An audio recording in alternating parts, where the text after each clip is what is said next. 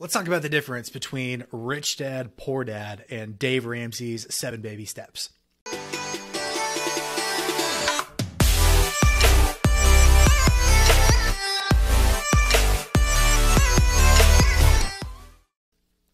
What's up, guys? Welcome to Lionshare Bookkeeping Landlord CFO. My name is Benjamin Day, and we help real estate investors with all of the money related things. Since 2017, we've been doing the bookkeeping.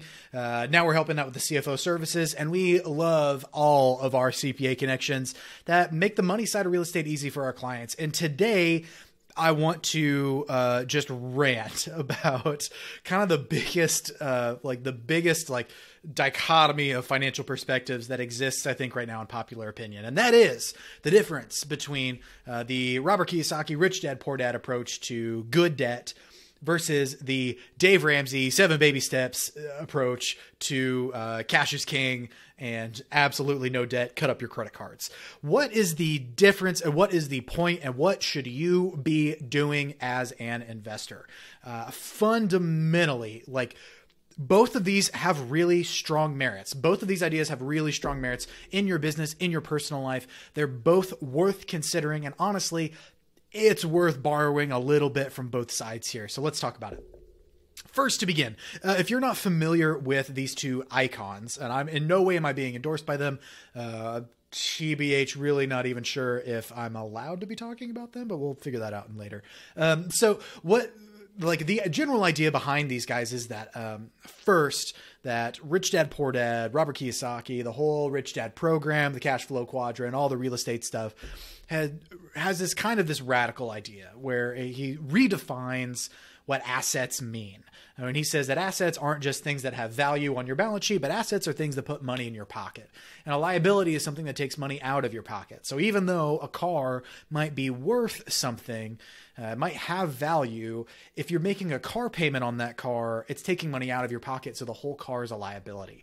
Uh, if you own a house, that house has value, but if you're making a house payment, that house is a liability unless you can figure out a way to cash flow those assets unless you can figure out a way to make your house cash flow your car cash flow in which case it'll be an asset to accountants and it would be an asset according to rich dad poor dad. And so this really kind of culminates in the rich dad strategy where they say take on good debt. If you can take out debt on a house but then that house pays for the debt and then some that's good debt. That debt is paying for itself and providing you a return.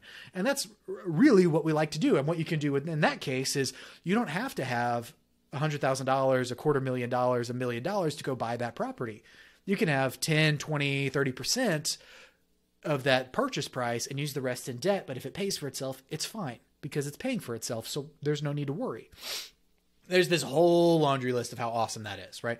And then there's the other side and there's the side of Dave Ramsey and the seven baby steps where uh, Dave Ramsey says that, you know, debt is a slippery slope that before you know it, you're really one bad day away from maxing out your credit cards, being in a hole that you can't dig yourself out of. You're not prepared. Uh, you're not in control of your spending. You're not in control of your personal finance. You're using debt as a crutch, and that crutch is what's going to keep you from retiring and keep you um, in poverty and miserable forever. And I'm uh, just so we're clear, I don't sponsor or really subscribe to either of these people very well. Um, these are just kind of the the highlights and the general vibe, right? Um, but generally speaking, then what uh, Dave Ramsey will say is, hey, follow these seven baby steps to put yourself on the right trajectory financially. Um, starts with saving a little bit of money, then you do the debt snowball, pay off all of your credit card debt, all of your normal debts and ultimately ends with being totally financially free, having a house that's paid for, uh, college is paid for, you've invested a whole bunch of money, you don't have any debt, uh, you're a slave to no one, you're the master of your own fate, and everything is awesome. You have so much cash. Um, because you're not using debt, right? And, and so cash is king in this space. Here's what I want to begin to go through. Uh, number one on our list in this kind of like rich dad versus uh, baby steps debate. Uh, number one is that having a whole lot of cash and absolutely no leverage means that you're getting a low return. That's just the truth.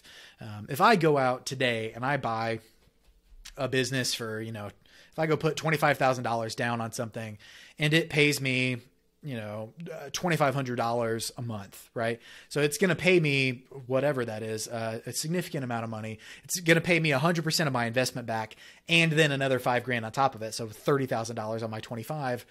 That's awesome. Like that is a super cool investment. You likely won't see that anywhere uh, unless it's a business that you've purchased, right? But you're going to need cash to go buy that that deal. That is a crazy investment. What is more likely is that you're going to go buy a house that's worth, you know, you're going to go buy a house all cash for uh, a quarter million dollars. It's going to pay out maybe $2,500 a month. Um, so by the end of the year, you're really looking at that same, so that's 25 grand. That's, you know, that's still 30 grand that it might be generating for you on a $250,000 investment. So now you're kind of looking more like 10%, right? Before expenses, that's just the income it generates. Before fixing it up, before property taxes, before insurance, before utilities and vacancy, right? Now suddenly you're what was originally a, you know, 100% plus return is now more like a 10-ish percent return before expenses, which could easily half that. And what we run into in this is this idea that not using any leverage at all could put you in a bad spot uh, it could put you in a very slow going place where instead of being able to generate that 30 grand that then you can pay expenses with, you have to first save that quarter million dollars in cash. And that kind of cash, unless you have a great job, is just hard to come by.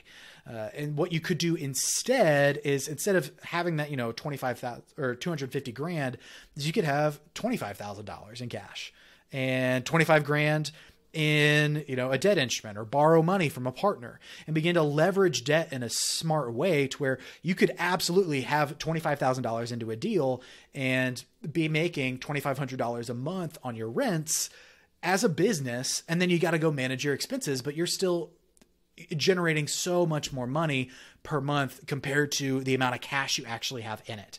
And so like having a big cash definitely is helpful. Being being all cash and low debt is helpful in a lot of respects.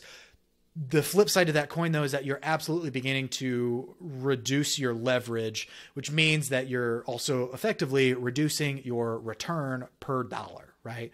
Uh, if I had $250,000 in cash, I could go buy five $250,000 rental properties that all generate that same number and scale if I were willing to take on the debt. So avoiding debt isn't always the best plan when you know that you can go and get good debt.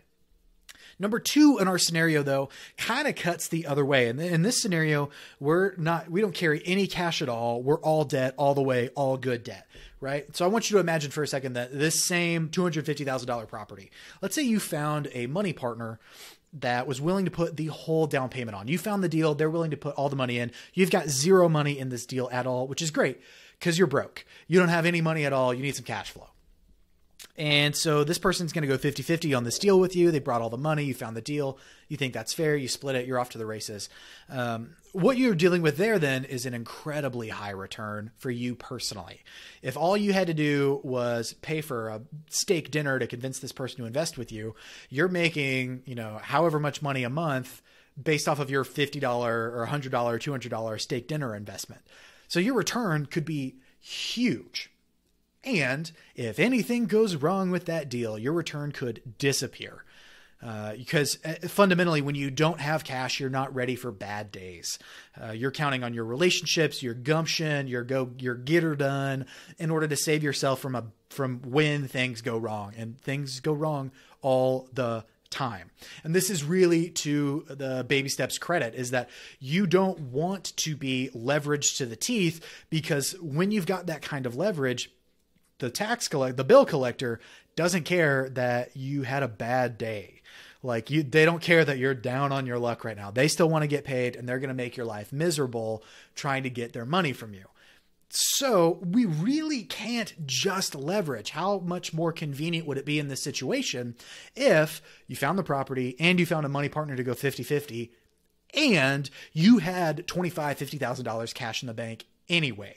You could have bought that deal yourself, but instead you went and found a money partner that was willing to bring all of the cash, but you've got cash in reserves just in case.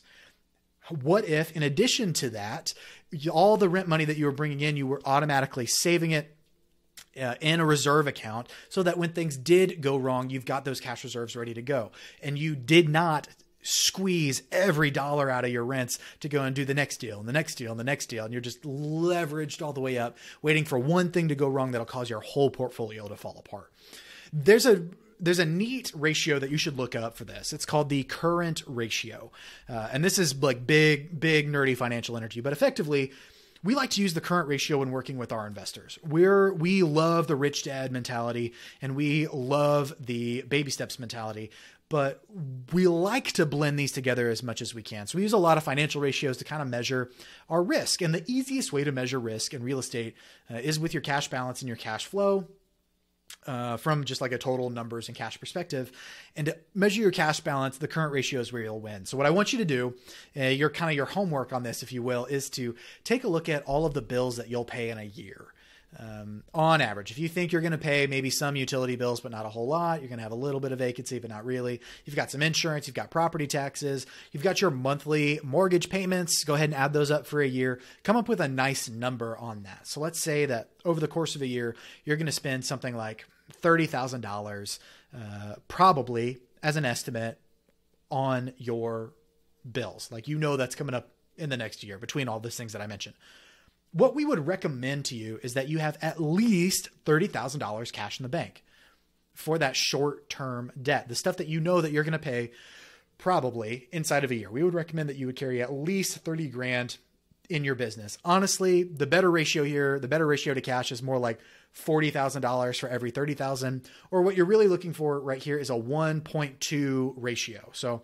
if you have $100,000 in debt that you're or $100,000 in expenses that you're going to end up paying in the next year, you should have like $120,000 in cash. And what this does is it lets you know, hey, I've got enough cash in the bank to pay everything that I know is coming, and I'll have a little bit of cash left over for the surprises. And what that means then, once you reach that cash level, any excess cash that your business is generating, at that point, you can begin to pull it out and go do fun things with it. And that's really what we like to see here is we like to see those options. Now, saving, you know, 40 grand for $30,000 a year worth of debt coverage and insurance and maintenance and utilities and taxes sounds like a lot and you'd rather go put that 40 grand to work.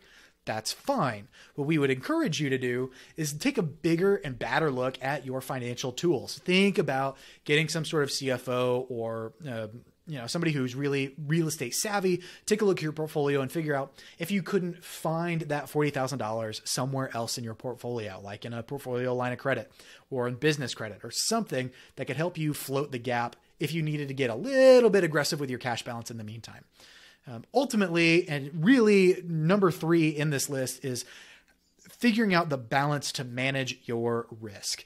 Uh, it is impossible for me to stand here on this video and say, hey, you should not take any debt out at all. Because as we've discussed, like having debt in real estate is kind of a smart move if your numbers work and your numbers have to work. The deal has to cash flow.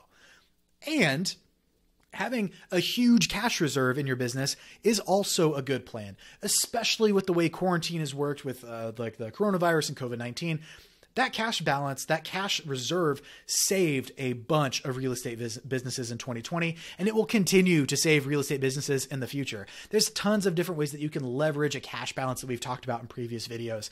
How you can really put that to your advantage, not just as a, like a nice little like uh, security blanket, but as a real effective tool in your business to acquire more financing and to attract other financial partners.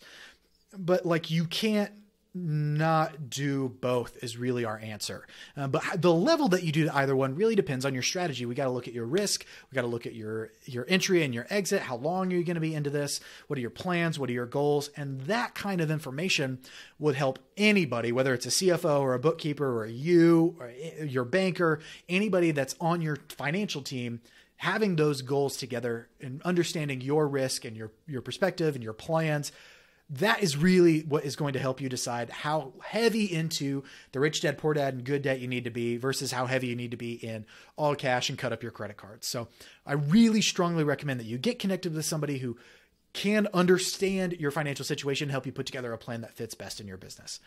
Let me know in the comment section below how you feel about Rich Dad Poor Dad, about the seven baby steps, about investing, about carrying cash and good debt or not in your business. I'm always happy to have this conversation. And I really want to know what you think. What are you doing? What do you know that's worked? How have you been burned before? Uh, let's talk about it.